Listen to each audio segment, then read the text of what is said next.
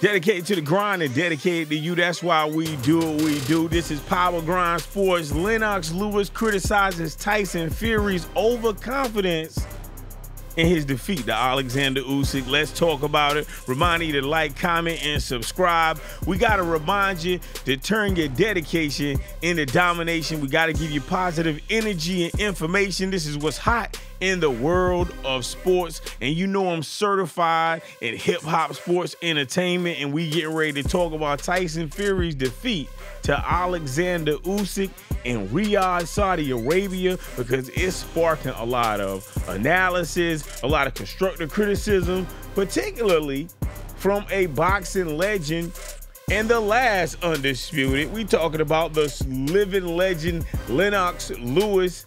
Now Tyson Fury, he lost the WBC title to an unbeaten Ukrainian. And of course, he also lost his record. You know, he lost the O and Alexander Usyk became the first undisputed heavyweight champion in the four belt era in the heavyweight division.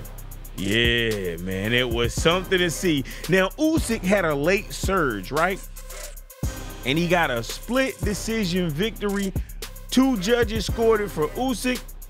One scored it for Tyson Fury. And I'm telling you, it was so close. It was a great fight, but you could see the momentum shifting from Tyson Fury to Alexander Usyk. Now, Lennox Lewis, he was the last undisputed champion. Before this historic bout between Tyson Fury and Alexander Usyk, and he pointed out that Tyson Fury's game plan was extremely flawed. He said that, look, basically Tyson Fury was in there fighting like he had won rounds that he didn't win. If you got a close round, you got to act like that is a loss. You got what I'm saying? If you have a close round in a fight with another opponent, chalk it up as a loss. You got what I'm saying? Especially if you're leaving it to the judges. Now, from the opening rounds, Fury appeared so confident. You know, he was taunting um, Alexander Usyk, and he was landing some significant shots. You got what I'm saying? He really seemed like he was in control, especially like in the in round six where he hurt Alexander Usyk. I was like, oh my god! But you could see everything starting to shift. you got what I'm saying? And it was an extreme turn of events. I'm gonna say in the eighth round then the ninth round, and then the tenth round, I was like, oh yeah, I think I think Alexander Usyk might just take this. You got what I'm saying? Now Fury, he is known to be showboating and just you know, just he's just a slick boxer at times. Even though he's a very, very gigantic guy, but he's really, really slick as it applies to boxing. But you know, even in in the press conference after the fight, he was like, "Look, I was in the ring. I was having fun. I was loving it. You know, he said, I thought I was bossing the fight. I was like, oh man. oh man. I was like, okay, I see what you're saying. He also, um, he being Tyson Fury, he also said that if his corner had a said in the final round, hey, go out there and finish the fight, then he would have finished it because he thought that he was doing so good. But, you know, he was saying it was a close fight he tried his best, but he came up short.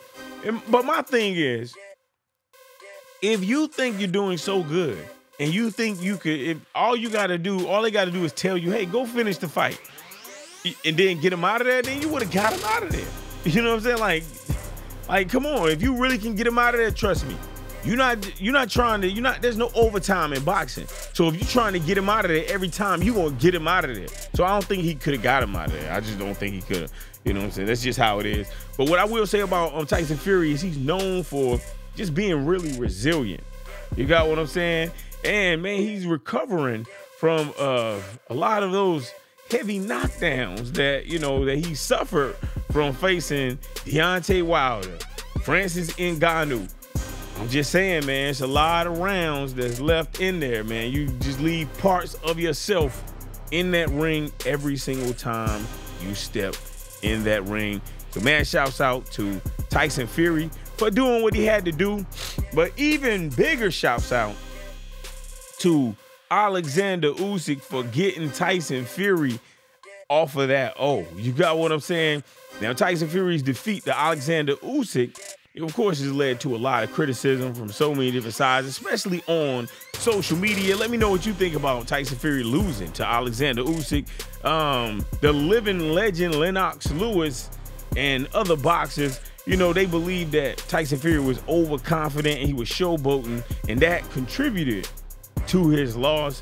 Now, Usyk's latest, latest um, comeback secured to secure a, um, a split decision victory over Tyson Fury, especially with knocking him down in the ninth round, man. Come on, man. That's just been, whew, that's been something. And it's also a point of controversy because the referee, he just, he stepped in there, he was touching on Alexander Usyk. He was trying to jump in there. He had an extended count. It looked very, very crazy. I don't know what that referee was doing.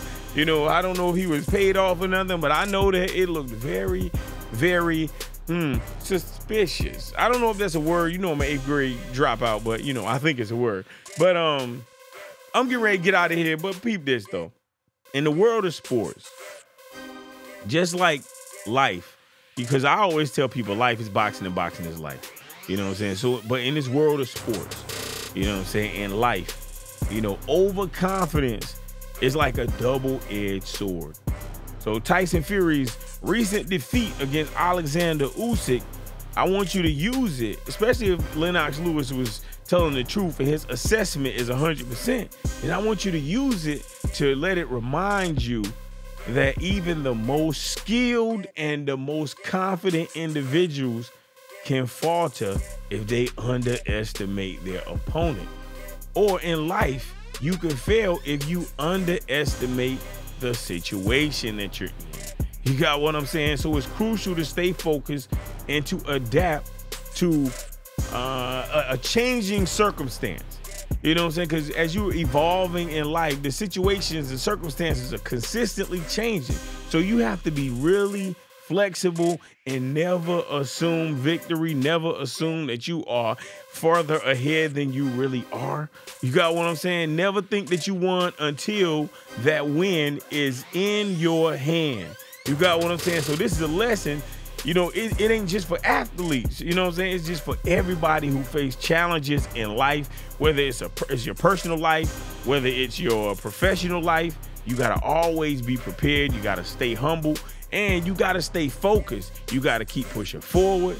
And even when you think you won, you know what I'm saying? Even when you think you won and you see the finish line, you have not won until you have gotten past that finish line. You got what I'm saying? Because it's all about the consistent effort that you're taking, about the, the vigilance that you have, and then having that focus. And all of those elements will lead you to success. Now, look, when I say these things to you, I'm not reading from a script. I'm not um, talking to um, some magical person, you know, in the sky or in the ground. Or I'm not. I am talking to you as you're listening to this, and I know my sentences are not perfect sentences, but this is what I believe.